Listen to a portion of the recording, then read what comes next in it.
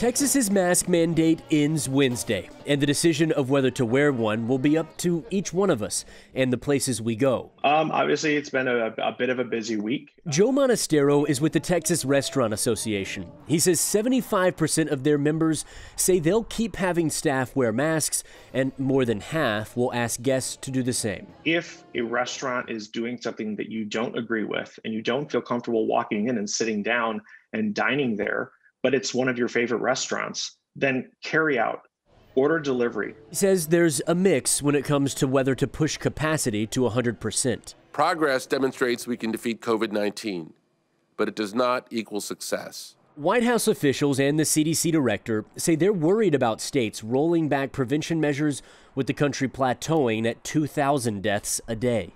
Texas hospitalizations have dropped 60% in two months, but they're also 60% higher than the lows we saw in September.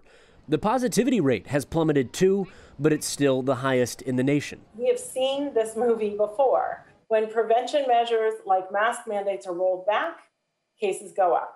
Most stores and all major grocery chains like HEB, Tom Thumb, and Kroger will keep requiring masks.